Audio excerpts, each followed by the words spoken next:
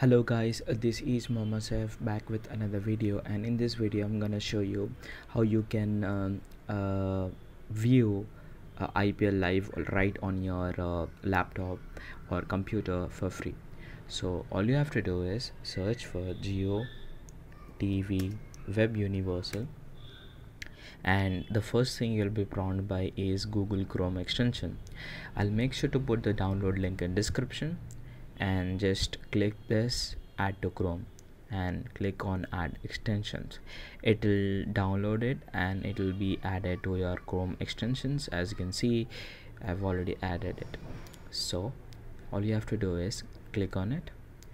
And uh, since we will be uh, drawing showing you the way uh, to access IPL just click on uh, sports TV and you can see these are the number of channels offered by them. This is absolutely for free.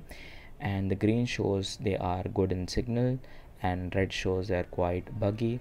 But you need to have a good internet connection to see it live. So all you have to do is click on IPL live here.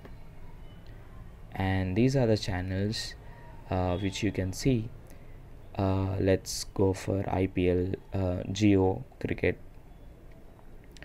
and as you can see it should work and it should lo uh, load up. top three for India and it's live guys.